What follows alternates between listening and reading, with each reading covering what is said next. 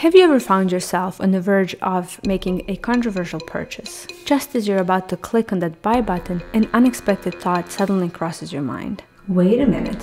They look a little bit like Swiss cheese, don't they? No, no, no, no, no. They're absolutely beautiful. And Kanye West loves them. He wears them all the time. But if I like things that Kanye likes, is that really a good thing? Okay, I need to relax. Everything is fine and buying these makes me a visionary, a trendsetter. Do these holes exist for ventilation purposes? Oh, okay, time for a break. I need to urgently distress from all this thinking with some Pringles. Wait, is eating this like really unhealthy? So that inner dialogue you just witnessed is what Daniel Kahneman, author of book Thinking Fast and Slow, calls system 2 thinking. It's a slow, conscious type of thinking that requires deliberate effort and time. The opposite of that is system 1 or fast thinking. System 1 is subconscious and automatic. For example, when you effortlessly recognize a familiar face in a crowd. But why am I talking about this in a video about AI assistants? Well, in order to understand that, I have to mention an amazing YouTube video posted by Andrej Karpathy, a great engineer at OpenAI. In that video, Andrej clarifies that right now, all large language models are only capable of System 1 thinking. They're like auto-predict on steroids.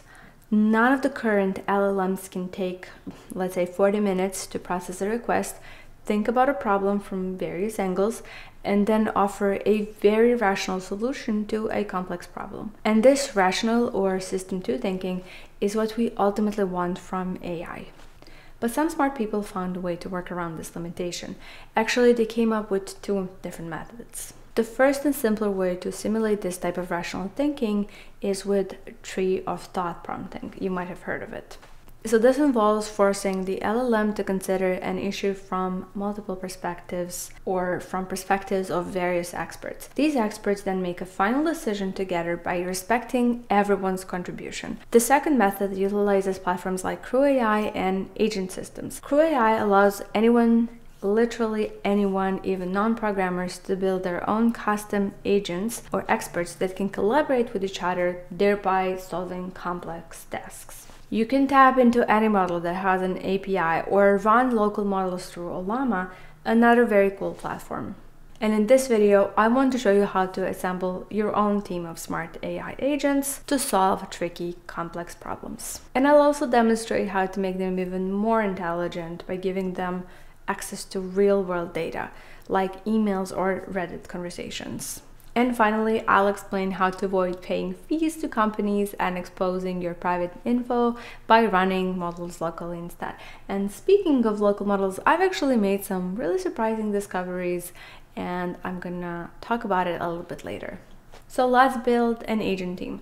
I'll guide you through getting started in a way that's simple to follow along even if you're not a programmer. In my first example, I'll set up three agents to analyze and refine my startup concept.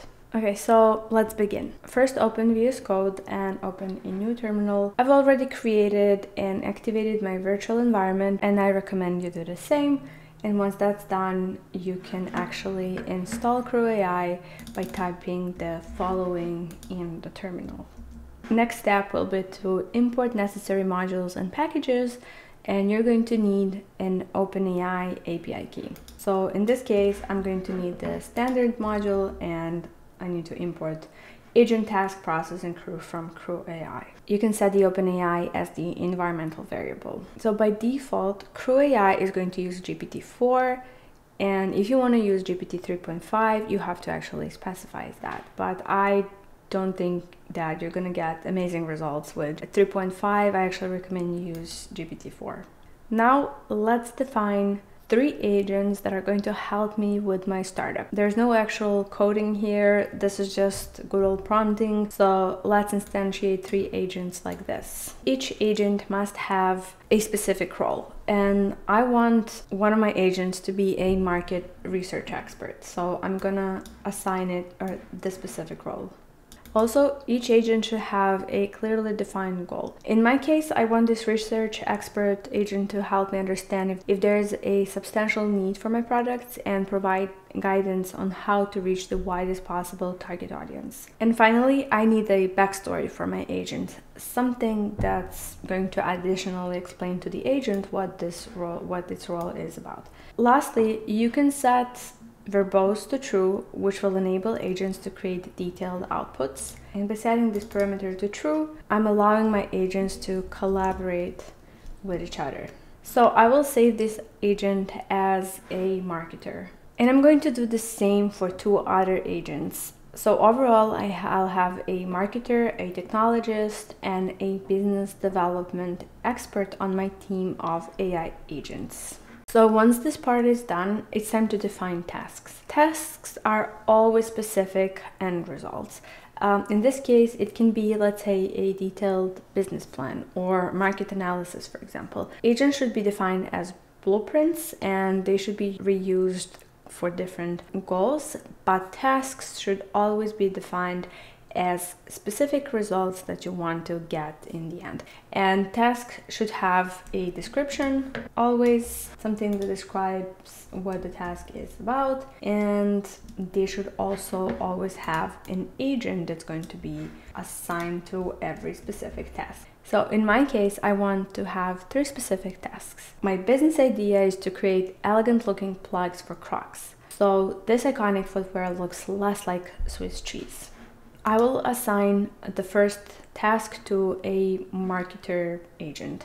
And this agent will analyze the potential demand for these super cool plugs and advise on how to reach the largest possible customer base.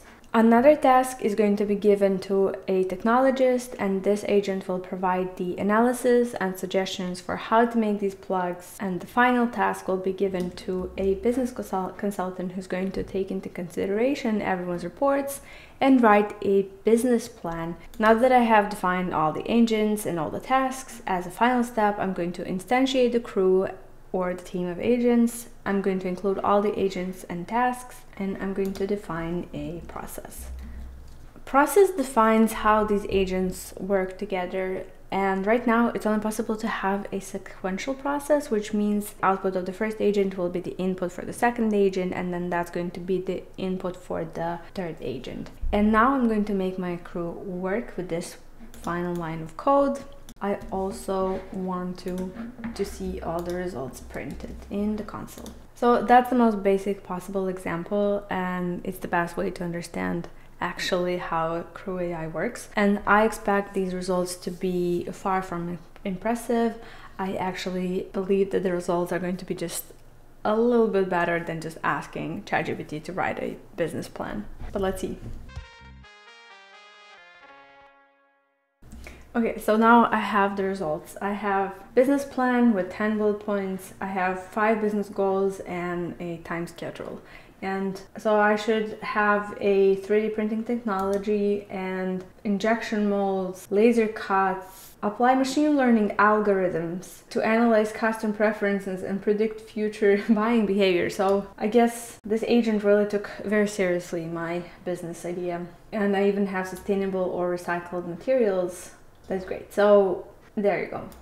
So how to make a team of agents even smarter? Making agents smarter is very easy and straightforward with tools. By adding these tools, you're giving agents access to real world, real time data. And there are two ways to go about this. First, an easier option is to add built-in tools that are part of LangChain. And I will include a link to a complete list of LangChain tools, but some of my personal favorites are Eleven Labs text-to-speech, which generates the most realistic AI voices. Then there are tools that allow access to YouTube and all kinds of Google data and Wikipedia. So now I'll change my crew and in this next example, I'll have three agents researcher, technical writer, and writing critic. Everyone will have their own task, but in the end, I want to have a detailed report in form of a blog or a newsletter about the latest AI and machine learning innovation. The blog must absolutely have 10 paragraphs. It has to have all the names of all the projects, tools written in bold, and every paragraph has to have a link to the project. I'll use LangChain Google Serper tool, which will fetch Google search results. But first, I'll sign in for free API key through Serper Dev. I'm going to include a link to all the code and all the prompts in the description box as usual. So let's begin by importing necessary modules and let's initialize SERP API tool with API key. So I'll instantiate the tool. I'll name the tool a Google Scraper tool and I'll give it a functionality, which is to execute search queries and along with description to indicate the use case. As a last step before running the script, I should assign this tool to my agent that's going to run first. And once I run the script, I can see all the scrape data in blue letters, green letters show agent processing this information, and white letters are going to be the final output of each agent. So this is what my newsletter looks like right now, and I have 10 paragraphs as requested. Each paragraph has a link and around two to three sentences, so the format is fine. It's exactly what I was looking for, but there is a big problem. So the quality of information in the newsletter is not really the best. None of these projects are really in the news at this moment and my newsletter is only as good as the information that goes into it. So let's fix that. How do I improve the quality of the newsletter? Well, it's actually quite simple. I just need to find a better source of information and that brings me to custom made tools. But before I dive into that, it's worth mentioning that there's one more cool and very useful pre-built tool that people might overlook, and that is Human in the Loop. This tool will ask you for input if it runs into conflicting information. Okay, so back to fixing the newsletter. My favorite way to get information is Local Llama subreddit. The community is amazing and they share an incredible amount of cool, exciting projects and I just don't have enough time to sit and read through all of it. So instead, I'm going to write a custom tool that scrapes latest 10 hot posts as well as 5 comments per each post. There is a pre-built tool through LangChain, a Reddit scraper, but I don't really like using it. My own custom tool gives me a lot more control and flexibility. Here's a quick look at the code.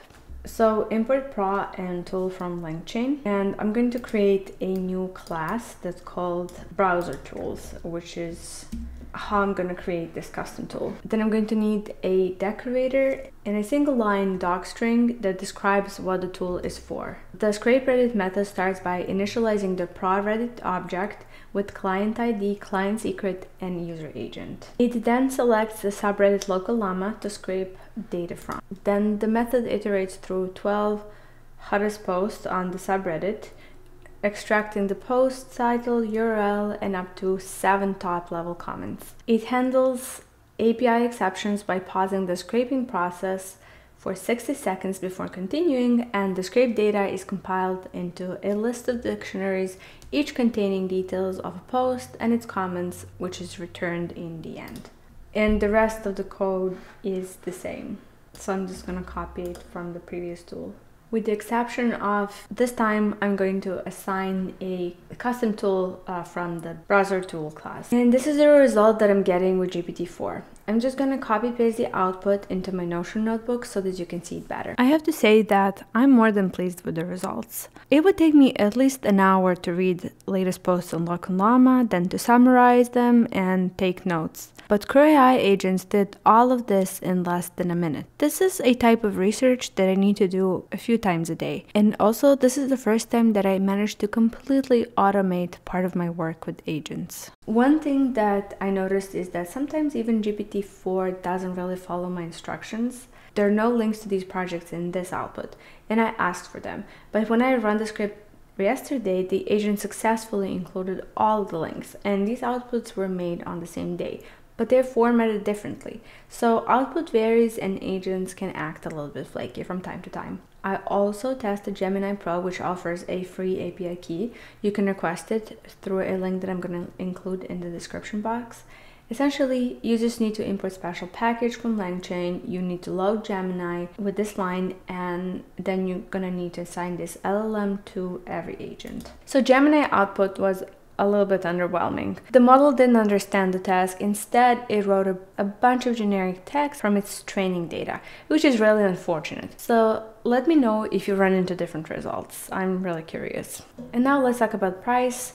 I ran the script many times as part of my experiments, but on this particular day, 11th of January, I remember that I ran the script four times, which means that I paid around 30 cents every time I ran it. So as you can tell, it adds up pretty quickly. And of course, this is GPT-4.